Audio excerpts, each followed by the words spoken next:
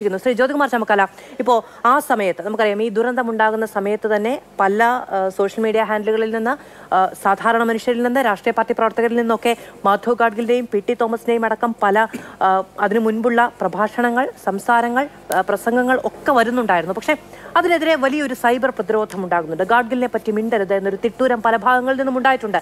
പക്ഷേ ഇനി ഇതാ നോക്കൂ. നേരത്തെ പറഞ്ഞതുപോലെ മനുഷ്യൻ മരിച്ചു കിടക്കുമ്പോൾ അത്തരത്തിലുള്ള കാര്യങ്ങളിലേക്ക് ഇറങ്ങി പുറപ്പെടാതെ ഓടി ചെന്ന് രണ്ട് കൈകൊണ്ടും വാരിയെടുക്കാനാണ് നമ്മൾ ശ്രമിക്കേണ്ടത്. പക്ഷേ നമ്മൾ പുനരധിവാസത്തെ പറ്റി സംസാരിക്കുമ്പോൾ നമ്മൾ രക്ഷപ്പെടാനുള്ള വഴികളെക്കുറിച്ച് നമ്മൾ അപകടങ്ങളുടെ ആഘാതം കുറയ്ക്കുന്നതിന് വേണ്ടി അതിനുവേണ്ടി നമ്മൾ എത്ര കരുതണം എന്നതിനെപ്പറ്റി കാര്യക്ഷമമായ ചർച്ചകൾ കൂടി പോകേണ്ടതുണ്ട്. അതിന് വലിയ രാഷ്ട്രീയമായ വില കൊടുക്കേണ്ടി വരാതിരിക്കണമെങ്കിൽ രാഷ്ട്രീയമായതിനപ്പുറത്തേക്ക് സാമൂഹ്യമായ ഉത്തരവാദിത്തം എല്ലാ രാഷ്ട്രീയ പാർട്ടികളും പേരേണ്ടതുമുണ്ട് അത് അമ്മയെ തല്ലിയാലും രണ്ടഭിപ്രായമുള്ള നാട്ടിലാണ് നമ്മൾ ജീവിക്കുന്നത്. ഇവിടെ സ്വാഭാവികമായും ഇത്തരത്തിലുള്ള അത്യാഹിതങ്ങൾ ഉണ്ടാകാതിരിക്കാനുള്ള നടപടികൾ ഉണ്ടാകണമെന്ന കാര്യത്തിൽ ഒരു തർക്കവും ആർക്കുമില്ല. അതിനുവേണ്ട പഠനങ്ങൾ ഇഷ്ടംപോലെ നടന്നിട്ടുണ്ട്. ഒരുപാട് റിപ്പോർട്ടുകളുണ്ട്. ഒരുപാട് പിന്നെ എന്താ പറയുന്നത് നിയമങ്ങൾ തന്നെയുണ്ട്.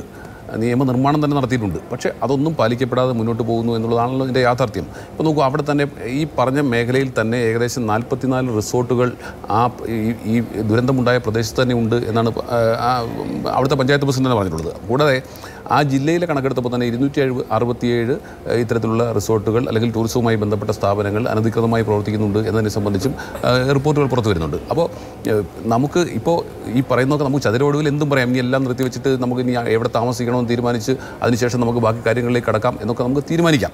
നല്ല കാര്യമാണ്. ഇത് കേൾക്കാനും പത്രത്തിൽ എഴുതി വെക്കാനും പിന്നെ വേണ്ട എന്ന് ഞാൻ പറയുന്നില്ല. വേണം. പക്ഷേ രണ്ടും പാരലായി തന്നെ പോകണം. ഇപ്പോൾ അവിടെ അനുഭവിച്ചുകൊണ്ടിരിക്കുന്ന വിഷമത അനുഭവിച്ചുകൊണ്ടിരിക്കുന്ന ആളുകൾ. ഇപ്പോൾ നോക്കൂ നമ്മളൊരു ഇന്റർനാഷണൽ ലെവലിലുള്ള സ്റ്റാറ്റിക്സ് എടുത്താൽ തന്നെ ഇപ്പോൾ ഞാൻ ഒറ്റ കണക്ക് മാത്രം പറയാം. രണ്ടായിരത്തി ഇരുപത്തി മൂന്നിൽ countries with the most natural disasters in two thousand twenty twenty twenty three രണ്ടായിരത്തി ഇരുപത്തി മൂന്നിൽ ഏറ്റവും കൂടുതൽ നാച്ചുറൽ ഡിസാസ്റ്റർ ഉണ്ടായിട്ടുള്ള കൺട്രീസ് ഏറ്റവും മുമ്പിൽ യുണൈറ്റഡ് സ്റ്റേറ്റ്സ് ആണ് ഇരുപത്തിയഞ്ച് ഇത്തരത്തിലുള്ള ഡിസാസ്റ്റർ ഉണ്ടായിട്ടുണ്ട്. തൊട്ട് പിറകിലുള്ളത് ചൈനയും ഇന്ത്യയുമാണ്. പതിനേഴ് വീതം ഉണ്ടായിട്ടുണ്ട്. അതിന് തൊട്ട് പിറകിൽ പതിനാറ് പിന്നെ ഇൻസിഡന്റ് ഉണ്ടായിട്ടുള്ള ബ്രസീലുണ്ട്. ഇന്തോനേഷ്യയിൽ പതിനഞ്ച് തവണ ഉണ്ടായിട്ടുണ്ട്. ഫിലിപ്പീൻസിൽ പതിനഞ്ച് തവണ ഉണ്ടായിട്ടുണ്ട്. ഇതൊക്കെ പറയുന്നത് രണ്ടായിരത്തി ഇരുപത്തി മൂന്നിലെ മാത്രം കണക്കുകളാണ്.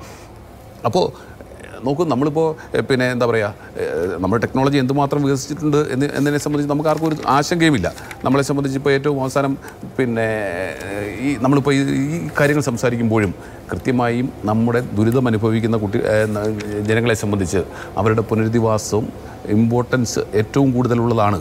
അവരെ പുനരധിവസിപ്പിക്കും. പഠനം നടക്കട്ടെ വേണ്ടെന്നാരും പറയുന്നില്ല. അല്ലെങ്കിൽ അതിനുള്ള സംവിധാനം നമ്മുടെ കയ്യിലുണ്ട്. നമുക്കൊന്നും അറിയാഞ്ഞിട്ടല്ലോ നമുക്ക് എല്ലാവർക്കും ഇതറിയാം. ആരും എല്ലാവരും പിന്നെ പിന്നെ ചതുര പിന്നെ ചതുരൊടുവിൽ സംസാരിക്കുന്നതിനപ്പുറത്തേക്ക് കാര്യത്തേക്ക് അടുക്കുമ്പോൾ നമ്മളെല്ലാവരും മാറി നിൽക്കുന്നു എന്നുള്ളതാണ്. അല്ല അങ്ങനെ ഒരു അഭിപ്രായ വ്യത്യാസം പറയുമ്പോൾ നേരത്തെ ശംഖു ചൂണ്ടിക്കാണിച്ചതുപോലെ ചോദിക്കുന്നുണ്ട്. ഞാൻ പറഞ്ഞാൽ ചിന്തയുണ്ടോ? ഒരിക്കലുമില്ല ഈ വേണമെന്നേ പക്ഷേ പുനരധിവാസം എനിക്ക് നടക്കേണ്ടത് ഇനിയിപ്പോ അല്ല നമ്മളിപ്പോ ഇങ്ങനെ ഇത് ചർച്ച ചെയ്യുന്നതുകൊണ്ട് പുനരധിവാസത്തിന് ഒരു ദോഷവും വരികയില്ല. അത് കേന്ദ്ര സഹായം അനുസരിച്ച് സർക്കാർ സമാഹരിച്ച ഫണ്ട് അനുസരിച്ച് ഒക്കെ നടക്കും.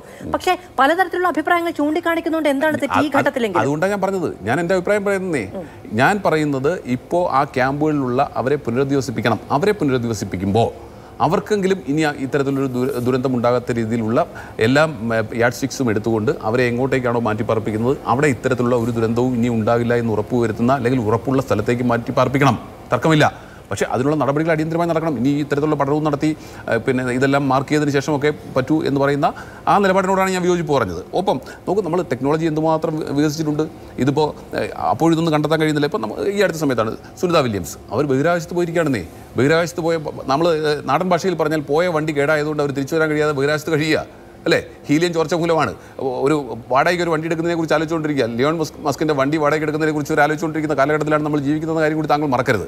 അപ്പോൾ ടെക്നോളജിയുടെയോ അറിവിന്റെയോ കുറവ് കൊണ്ടല്ല നമ്മൾ ഇടപെടുന്ന രീതിയുടെ പ്രശ്നം കൊണ്ടാണ് അത് പരിഹരിക്കപ്പെടുക തന്നെ വേണം. പക്ഷേ ഇവിടെ അടിസ്ഥാനപരമായി ഇപ്പോൾ ഏറ്റവും അവസാനം ചെയ്യേണ്ടത് ഏറ്റവും ആദ്യം ചെയ്യേണ്ടത് അവരുടെ പുനരധിവാസത്തിന് ഇമ്പോർട്ടൻസ് കൊടുക്കണം. അവരെ പുനരധിവസിപ്പിക്കുമ്പോൾ.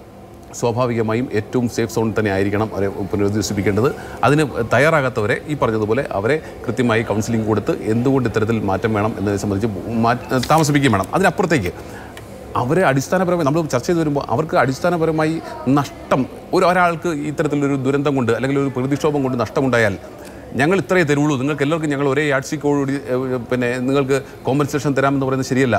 നമ്മളെ സംബന്ധിച്ച് അവരുടെ എല്ലാ ഡോക്യുമെൻസും ഉണ്ട്.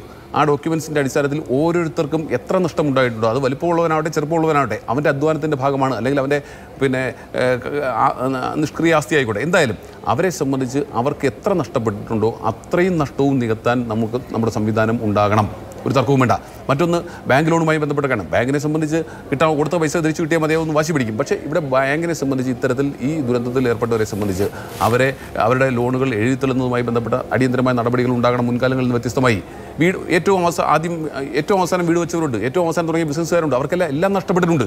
അപ്പോൾ അവരെയൊക്കെ സംബന്ധിച്ച് ആക്ച്വൽ ഫിഗേഴ്സ് ഓരോരുത്തർക്കും നഷ്ടപ്പെട്ടിട്ടുള്ള ആക്ച്വൽ ഫിഗർ ഏതാണോ ആ ഫിഗർ അവർക്ക് തിരിച്ചു കിട്ടുന്നു എന്ന് ഉറപ്പുവരുത്തണം അവൻ്റേതല്ലാത്ത കുറ്റം കൊണ്ട് അവന് വ- വന്നിട്ടുള്ള നഷ്ടം ആ നഷ്ടം നികത്തുക എന്നുള്ളത് ഭരണാധികാരികളുടെ ഉത്തരവാദിത്വമാണ് എന്നുകൂടി ഈ അവസരത്തിൽ ഓർമ്മിപ്പിക്കാതെ വയ്യ മുൻകാലങ്ങളിൽ വ്യത്യസ്തമായി എല്ലാവർക്കും ഒരേ ആഴ്ചയ്ക്ക് ഏഴ് സെൻറ്റ് സ്ഥലവും നാല് സെൻറ്റ് നാല് ലക്ഷം രൂപ വീട് വെക്കാനും എന്നതിനപ്പുറത്തേക്ക് ഓരോരുത്തർക്കും ഉണ്ടായിട്ടുള്ള നഷ്ടം എത്രയാണെന്ന് കണ്ടെത്തി ആ ആക്ച്വലിലേക്ക് തന്നെ പോകാനുള്ള നടപടി കൂടി ഉണ്ടാകും എന്നാണ് പ്രതീക്ഷിക്കേണ്ടത് ഉണ്ടാകേണ്ടതുണ്ട് എന്ന് ഇപ്പോൾ നിർദ്ദേശത്തിൻ്റെ കാര്യങ്ങൾ വരല്ലേ ഈ നിർദ്ദേശം ഉൾപ്പെടെ ചർച്ച ചെയ്യട്ടെ അതുപോലെ തന്നെ ഇതുമായി ബന്ധപ്പെട്ട് വിദ്യാഭ്യാസ സ്ഥാപനങ്ങൾ വരേണ്ടതുണ്ട് ആശുപത്രികൾ വരേണ്ടതുണ്ട് ഇതുമായി ബന്ധപ്പെട്ട് ടൗൺഷിപ്പിനെ സംബന്ധിച്ചാണ് ആലോചിക്കുന്നതെങ്കിൽ അങ്ങനെ എല്ലാം പിന്നെ ഒരു കോമ്പൗണ്ടിൽ അല്ലെങ്കിൽ ഒരു നിശ്ചിത അകലത്തിൽ തന്നെ വരാവുന്ന സാഹചര്യമുണ്ട്. അപ്പോൾ ആ രീതിയിൽ തുറന്ന മനസ്സോടുകൂടി ഈ പുനരധിവാസം നടപ്പിലാക്കുന്നതോടൊപ്പം തന്നെ മറ്റു കാര്യങ്ങൾ നടക്കട്ടെ.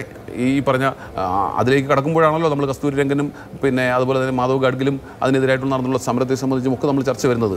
അപ്പോൾ ആ അക്കാര്യത്തിൽ ആരും എതിർക്കുന്നില്ല. നമ്മുടെ പ്രകൃതി നിലനിൽക്കേണ്ടതുണ്ട്. ഈ രാജ്യത്ത് ഇത്തരത്തിൽ ദുരന്തം ഇനി ആവർത്തിക്കാതിരിക്കേണ്ടതുണ്ട്. അതിന് മുൻകരുതൽ എടുക്കേണ്ടതുണ്ട്.